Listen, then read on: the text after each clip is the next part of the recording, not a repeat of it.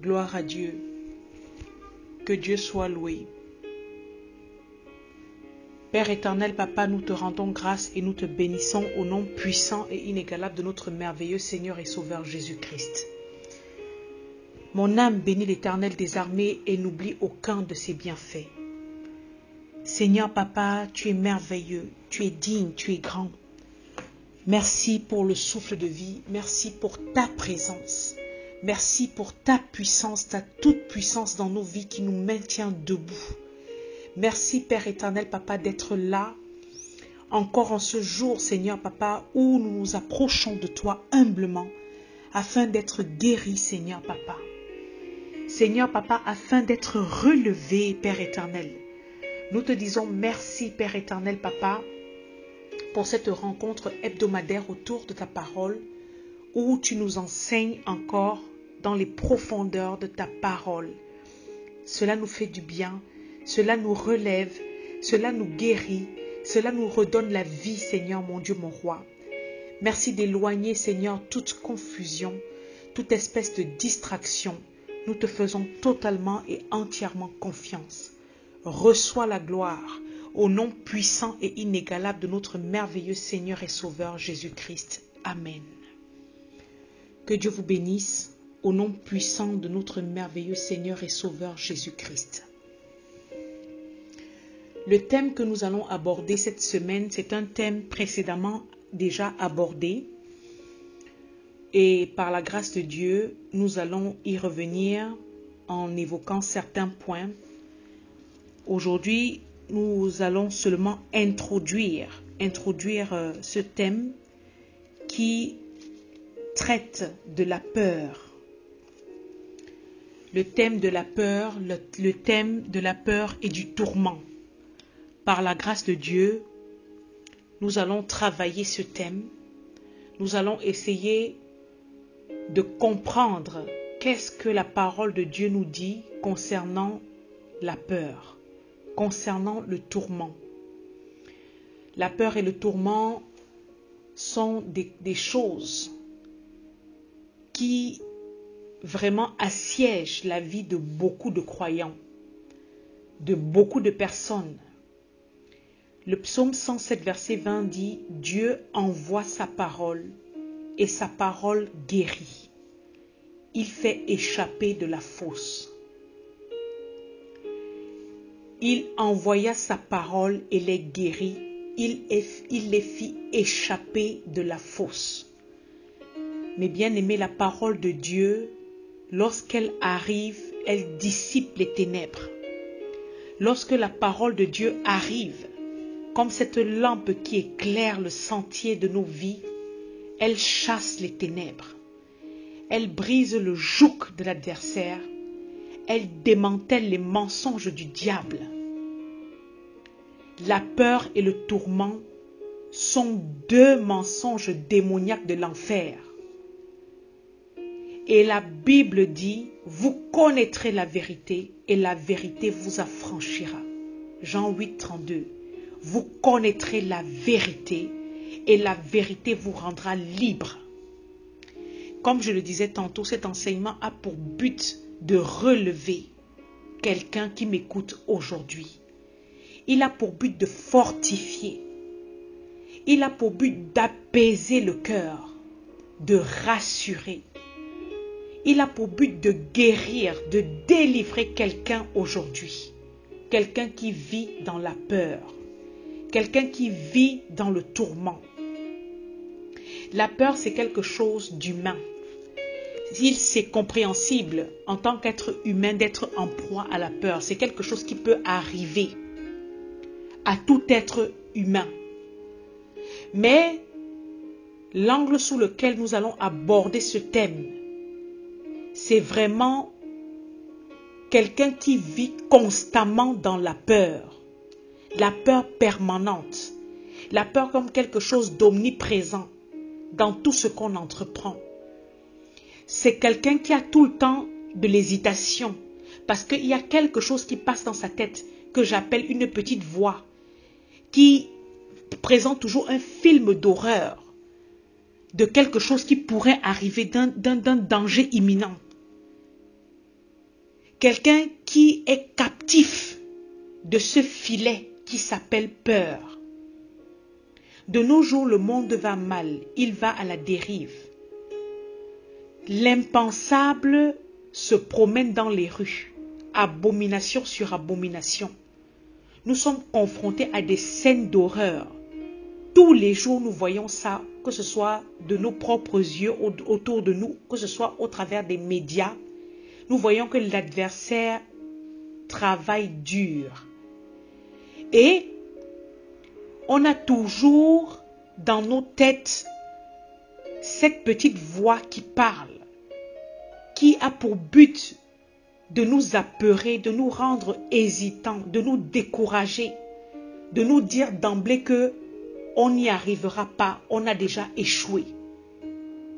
C'est quelque chose qui vient avec le découragement, la résignation. Et par conséquent, on se sent mélancolique, triste, beaucoup de stress la dépression, la maladie du siècle, la déprime. Et c'est quelque chose qui rend malade. On a peur de tout. On a peur des maladies qui pourraient arriver. On a peur de la mort. On a peur de l'échec des enfants. On a peur de ci, on a peur de ça. L'adversaire plonge de plus en plus des personnes des enfants de Dieu dans une sensation d'abandon, une sensation d'échec. Ce qui fait qu'on n'a même pas envie d'entreprendre quelque chose parce qu'on a peur. On a peur de démarrer la voiture le matin parce qu'on a peur des accidents. On a peur d'envoyer les enfants à l'école parce qu'on a peur qu'on on les perde. On a peur de X ou de Y parce qu'on a peur que quelque chose arrive. Mon frère, ma soeur, si tu es dans cette situation et que tu es en train de m'écouter en ce moment, que tu reconnais être en proie aux inquiétudes pour différents motifs dans ta vie, des motifs qui te poussent à ne pas aller bien psychologiquement, mentalement. Et des fois, ça se répercute même dans ton physique. Si tu es en proie, peut-être dans le passé, tu as vécu certains traumatismes. Peut-être c'était la mort de quelqu'un de cher. Peut-être tes parents, peut-être que tu as vécu une maladie grave. Peut-être que tu as connu un échec conjugal ou tu as un blocage dans ta vie conjugale. Peut-être que tu as vraiment des challenges dans ta vie que tu n'arrives pas à surmonter. Tu dépends des anxiolytiques, des calmants, besoin de remèdes pour dormir, pour décompresser. Tu dépends peut-être des thérapies chez les différents psychologues. Peut-être tu dépends même des groupes de prière, des pasteurs et autres qui t'embourbent dans des scénarios où tu dépends des êtres humains. Peut-être que tu dépends des familles, de ta famille, de, tes amis. Tu as la sensation que s'ils te lâchent, s'ils ne sont pas à côté de toi, alors tu es perdu. Peut-être que tu vis au gré des circonstances. Aujourd'hui, si c'est bon, ok, tu es contente. Demain, s'il y a quelque chose qui ne va pas, alors tu es à terre. Peut-être que tu es en proie à toutes ces choses tu ne te sens pas bien dans ta peau, sache que ce message est pour toi. Ce message est pour toi. Et cela vient de la part d'une personne qui sait de quoi elle parle. Avoir été en proie à la peur pendant longtemps dans ma vie, la peur d'un danger imminent, la peur de quelque chose de mal va toujours arriver. Parce que j'ai vécu des traumatismes dans ma vie. Très très jeune, à l'adolescence, je perdais mon père. De manière subite. Tout s'écroule. Tout chamboule. Et au moment où on pense pouvoir se relever, pouvoir avancer, c'est la maman qui s'en va dans un contexte où on ne prêche, on ne parle que de Dieu, où on est vraiment accroché, attaché à Dieu. On voit tout sombrer autour. Je me suis retrouvée seule dans un pays étranger, orpheline de père et de mère, un pays où le français n'est même pas parlé. Et je vous assure, mes bien-aimés, que si je n'avais pas eu la grâce de Dieu, si je n'avais pas été porté par les prières que j'entendais ma mère de son vivant faire tous les jours sur ma vie et celle de mes frères, éparpillés un peu partout dans le monde, je n'aurais pas été où je suis aujourd'hui. J'étais quelqu'un qui avait tout le temps peur. Tout le temps, l'adversaire me renvoyait des images de peur, d'horreur. Ça t'est arrivé deux fois, ça peut encore t'arriver. Une vie de challenge, une vie dure. Tout ce que je pouvais avoir, je l'ai eu avec beaucoup de difficultés et où j'ai toujours senti que la main de Dieu était sur moi, parce que de moi-même, je n'y serais pas arrivé. Aujourd'hui, je ne parle pas de quelque chose que je ne connais pas. Je parle d'abord d'un témoignage profond. Parce que quand je dis que Dieu a envoyé sa parole et sa parole a guéri et a fait échapper de la fosse, je sais de quoi je parle. Quand je, cite le verset de vous connaîtrez la vérité et la vérité vous affranchira, je sais de quoi je parle. Aujourd'hui, nous allons parler de la peur. Matthieu 15, verset 13 dit que toute plante que mon Père céleste n'aura pas plantée sera déracinée. Jésus-Christ dit que toute plante, tout germe, toute chose que Dieu, l'Éternel, le Yahweh, n'aura pas plantée dans nos vies, dans nos cœurs, sera déracinée. Et si toi, tu le veux aujourd'hui, si tu le désires ardemment aujourd'hui, ce filet de l'adversaire, ce lien de peur te lâche au nom de Jésus-Christ. La peur, ça veut dire la crainte. C'est une inquiétude ressentie face à un danger ou à une situation présente ou à venir. C'est quelque chose qui marche beaucoup avec le tourment. Et le tourment lui-même, c'est défini comme une très grande souffrance physique ou morale. Le tourment, c'est un, un supplice, c'est une torture, une affliction. Et comme je l'ai dit plus haut, ça marche beaucoup avec le découragement. C'est un malaise constant, le cœur a mal. On est en peine, on est en souffrance. On est tout le temps dans la frayeur, l'épouvante que quelque chose arrive. Et spirituellement, ça représente une arme démoniaque. La peur, c'est une puissante arme, mes bien-aimés, entre les mains de l'ennemi pour qu'il donne accès à la peur à sa vie. C'est un instrument terrible de travail de l'enfer.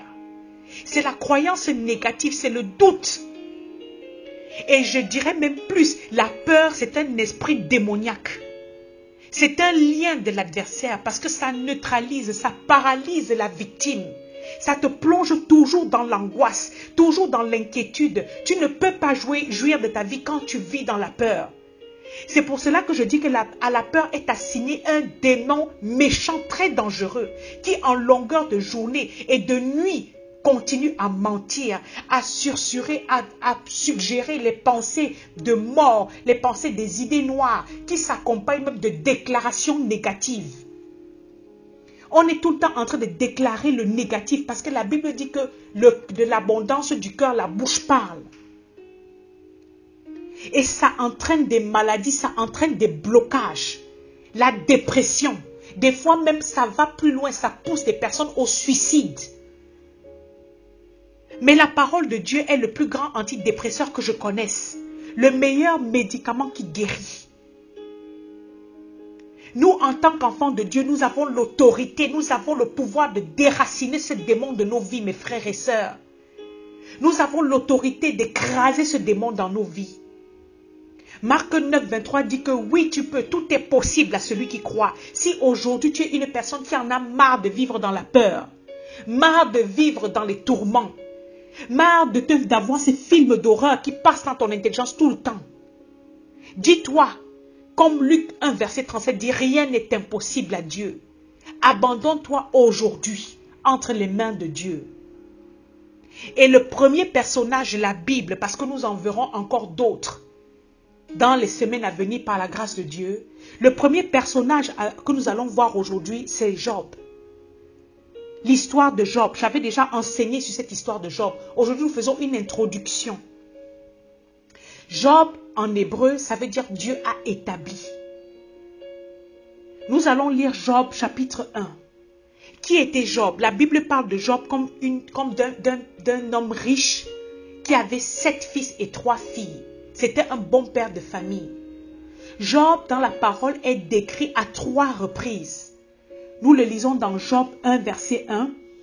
Il y avait dans le pays d'Uc un homme qui s'appelait Job. Et cet homme était intègre et droit. Il craignait Dieu et se détournait du mal. Job 1, verset 1. Job 1, verset 8 dit, L'Éternel dit à Satan, as-tu remarqué mon serviteur Job? Il n'y a personne comme lui sur la terre, c'est un homme intègre et droit, craignant Dieu et se détournant du mal. Job chapitre 2 verset 3 dit, L'Éternel dit à Satan, as-tu remarqué mon serviteur Job? Il n'y a personne comme lui sur la terre, c'est un homme intègre et droit, craignant Dieu et se détournant du mal. Il demeure ferme dans son intégrité et tu m'excites à, le perdre sans motif. Par trois reprises, on voit que Dieu lui-même rend témoignage de l'intégrité et la droiture de Job. Ça veut dire que c'était un homme qui n'était pas parfait, certes, mais qui s'efforçait en tout temps d'agir de manière conforme à ce qui est juste et bon, conforme à la parole de Dieu. La Bible dit qu'il craignait Dieu. Cela veut dire qu'il faisait preuve de révérence envers Dieu et sa parole. Il avait un profond respect. C'était quelqu'un qui marchait dans l'obéissance à Dieu et à sa parole. C'était quelqu'un qui se détournait du mal. C'était un homme sage. Parce que Proverbe 1, verset 7 dit que la sagesse, c'est celui qui marche selon la droiture de Dieu.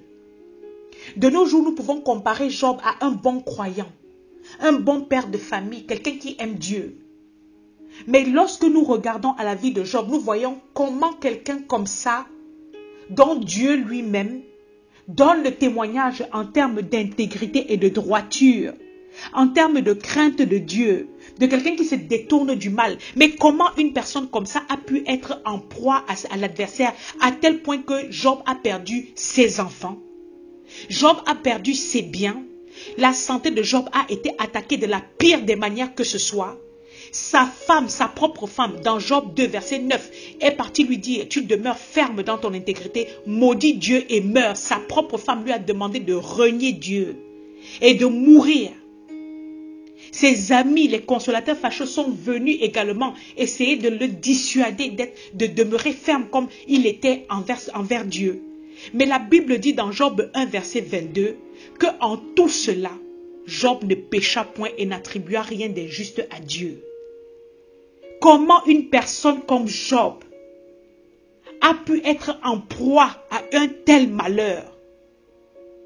La Bible dit le malheur atteint souvent le juste, mais l'Éternel l'en délivre toujours. Il garde tous ses os, aucun d'eux n'est brisé. La Bible dit également que vous tous qui voulez vivre pieusement en Jésus-Christ, vous serez persécutés. 2 Timothée 3, verset 12. Job avait un problème. Job avait un problème dans sa vie. Le problème de Job commence à se lire dans Job chapitre 1 verset 5. Et quand les jours de festin étaient passés, Job appelait et sanctifiait ses fils, puis il se levait de bon matin et offrait pour chacun d'eux un holocauste. Car Job disait, peut-être mes enfants ont-ils péché et ils ont offensé Dieu dans leur cœur. C'est ainsi que Job avait coutume d'agir. Job avait une porte dans sa vie. Nous le lisons également dans Job 3, verset 25. Ce que je crains, c'est ce qui m'arrive. Ce que je redoute, c'est ce qui m'atteint. La faille, la porte, l'ouverture que Job avait dans sa vie, c'était la peur. Ce que je crains, ce que je crains, c'est ce qui m'arrive. Ce que je redoute, c'est ce qui m'atteint. Job faisait ce qu'on appelle chaque semaine des rites de purification. Parce qu'il se disait que peut-être ses enfants avaient offensé Dieu, peut-être ses enfants avaient blasphémé durant leur festin sous l'alcool ou peut-être ils avaient fait des choses qui n'allaient pas. Et l'objectif des rites de purification que Job faisait, c'était des offrandes à Dieu en guise d'expiation des péchés que ses enfants auraient pu commettre durant la semaine. Job était préoccupé de l'état spirituel de ses enfants. Il voulait que ses enfants avancent, qu'ils soient bénis et qu'ils jouissent de leur vie. Mais c'était une porte. En cela, il n'y avait rien de mal. C'était un bon patriarche. C'était un bon sacrificateur. C'était lui le patriarche de sa maison, de son clan. C'était son rôle en tant que prêtre familial de prier pour sa famille. Mais le problème, c'est que Job avait peur. Il a dit ce que je crains, ce dont ce que j'ai peur, ce qui me fait peur, ce que, je suis en train de, de méditer dans ma tête comme peur, c'est ce qui m'arrive. C'est comme des personnes, oh je vais avoir un accident, oh je vais avoir un accident, bam, l'accident se produit. Oh un jour l'enfant s'il va me faire ci, oh l'enfant s'il va me faire ça, bam, ça, ça arrive. Ce que je redoute, c'est ce qui m'atteint. On voit ici comment à cause d'une simple porte, quelqu'un pourrait dire, mais une simple affaire comme ça, le, mal que cet homme a écopé est disproportionné par rapport à la brèche qu'il a ouverte. Mais nous, vous vous rappelez, dans l'Éphésiens, l'apôtre Paul dit que ne donnez pas accès au diable. Parce que Jésus-Christ a dit en Jean 10, 10, l'adversaire ne sait conjuguer que trois verbes, dérober, égorger et détruire. La peur, c'est quelque chose de fatal. La peur, c'est quelque chose de terrible pour la vie du croyant. C'est quelque chose de très dangereux parce que là, nous laissons libre accès à Satan. Et ici, nous voyons déjà dans le livre de, Job comment il est dit dans Job chapitre 1, verset 7, l'Éternel dit à Satan, d'où viens-tu? Et Satan répondit à l'Éternel de parcourir la terre et de m'y promener. 1 Pierre 5, verset 8 dit que soyez sobre, veillez. Votre adversaire, le diable, rôde. Comme un lion rugissant, cherchez qui il dévorera. Soyez sobre. Faites attention, faites preuve de sobriété. Soyez vigilants. Veillez, ne dormez pas, ne soyez pas étourdis. Ne vous, ne vous leurrez pas. Parce que votre adversaire, la Bible l'appelle l'adversaire. Votre ennemi, l'ennemi des âmes. Celui qui accuse, comme dit l'Apocalypse 12, verset 10, l'accusateur des frères qui accuse nuit et jour. Celui qui est là pour dérober, égorger et détruire dans vos vies, rôde. Il parcourt la terre. Il cherche les failles dans la vie des gens. Certains malheurs nous arrivent, certaines maladies nous arrivent parce que nous ouvrons la porte à l'adversaire, mes frères. Faisons attention à ce que nous ouvrons comme porte. Comme je vous le disais en mon introduction, si je n'avais pas eu cette délivrance au travers de la parole, concernant la peur. Et c'est un travail minute après minute, jour après jour, que j'effectue dans ma vie. Je vous assure que je ne serai pas où je suis aujourd'hui. Parce que ce n'est pas ce que l'adversaire avait prévu pour moi. Quand la Bible, Dieu, la parole de Dieu dit dans Jérémie 11, 27, je connais les projets que j'ai formés pour vous, les projets de paix et non de malheur, qui vous assurent de l'avenir et de l'espérance. L'adversaire également a pour nous des projets de mort, de blocage, de maladie. Il cherche la faille. Il rôde. Il parcourt la vie des gens. Il parcourt les, les opportunités qu'il peut saisir. Il les saisit et il frappe, il frappe fort. Aujourd'hui, prenons conscience que la peur ouvre un grand champ d'accès à Satan. Mais gloire à Dieu que nous avons un Dieu miséricordieux, un Dieu bon, qui même dans nos faiblesses, lorsque nous tournons les regards vers lui, nous relève. Et c'est ce qu'il a fait avec Job. Il a relevé Job. Du malheur dans lequel Job se trouvait parce que la Bible dit que en toute chose, Job est demeuré intègre. il n'a pas péché. Même quand sa propre femme est venue lui dire, maudit Dieu et meurt, Job a répondu dans Job 2, verset, chapitre 2, verset 10, tu parles comme une femme insensée. Quoi? Nous recevons de Dieu le bien et nous recevons pas aussi le mal. En tout cela, Job ne pécha point par ses lèvres. Job n'a point péché. Et la Bible dit que Job a été délivré. Son intégrité physique a été rétablie. Il a eu le double de ce qu'il possédait jadis. Et il a été béni parce que sa conduite devant Dieu était irréprochable. Demeurons fermes et fermons les portes au diable. Que Dieu nous fasse grâce. Que Dieu nous bénisse. Au nom puissant de Jésus-Christ. Père, nous te rendons grâce et nous te bénissons. Parce que conformément à ce que ta parole nous a encore enseigné en ce jour, tu envoies ta parole et ta parole guérit. Ta parole délivre de la fausse. Seigneur, papa, tu connais les tourments de la vie de mon frère. Tu connais les tourments de la vie de ma sœur. Papa, tu sais, Seigneur Père éternel, papa, combien son cœur est affligé, combien les pensées s'agitent en foule au-dedans de son cœur, combien les pensées de limitation l'assaillent, les réflexions, comment je vais faire, comment je vais faire pour m'en sortir, qu'est-ce qui va encore m'arriver, comment je vais faire pour régler tel ou tel problème? Seigneur Père éternel, Papa, en ce jour, tu as encore dit, tu as encore parlé à nos cœurs. Ne crains point. Ne promène pas des regards inquiets, car je suis ton Dieu. Je suis l'Éternel qui marche lui-même devant toi et qui prend soin de toi, qui prend soin de ta santé, qui prend soin de tes enfants, qui prend soin de ta maison. Tout est possible si tu as foi en moi. Ô Seigneur mon Dieu, mon roi, Père éternel, à tes pieds, nous déposons tout aujourd'hui. Que ta faveur, que ta grâce repose sur nous.